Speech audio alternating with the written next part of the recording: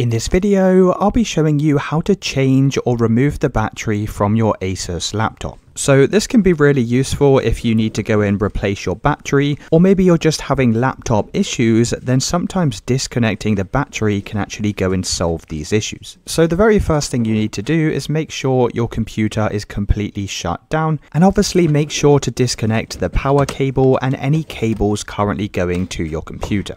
Now what we're going to do is place the laptop onto its front like so, and on the back of the laptop you'll see all of these small holes that contain a screw. So there should be around about 10 screws depending on your model of laptop and all you'll need here is a Phillips screwdriver and we're just going to take the screwdriver and unscrew each of these individually. Now you may also have some short screws and there may be some longer screws as well. So when you go and remove these just make sure you know exactly which screws went to which hole. Now if you have a magnetic screwdriver it will make this much easier to go and actually remove the screw. Otherwise what you can do is once you've unscrewed these you can just tilt the laptop onto its side and you can kind of give it a wiggle and the screws should just go and drop out from here. Now once all of the screws have been removed we can then go and take the case off of the laptop. Now the easiest way that I find to do this is just to go and grab something like a credit card and you can basically use the card to wedge between the case like so and then you can go around the sides trying to pop out each of the wedges like you see here.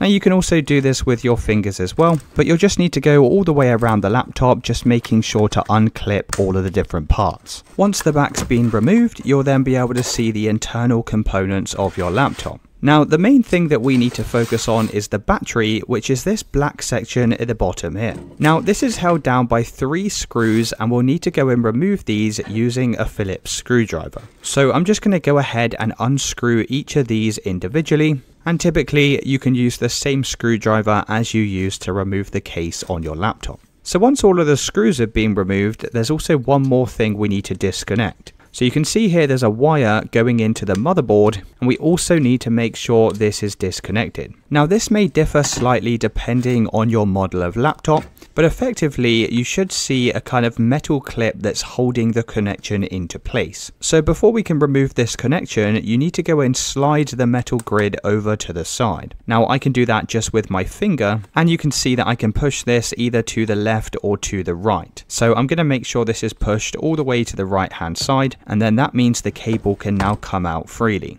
To actually remove the cable, you need to go and wedge something underneath of it. So I'm just going to use the credit card I was using earlier.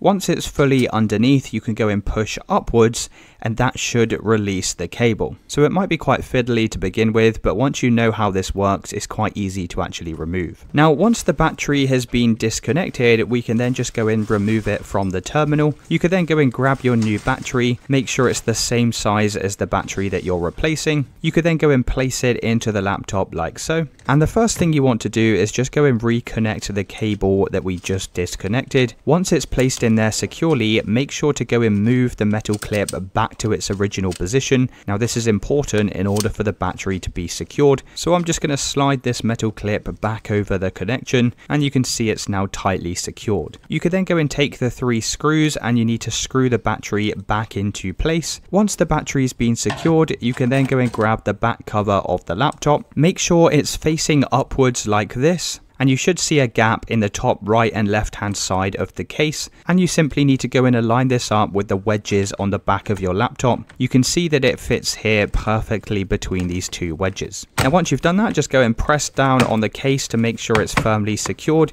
You should kind of feel the clip snap back into place. Once the lid's firmly secured you can then go and grab your screws and we can just rescrew these individually back one by one. Once all of your screws are firmly secured you can then go and open up your laptop laptop. You can then try turning it on and your new battery should be fully working. Let me know in the comments if you found this video helpful.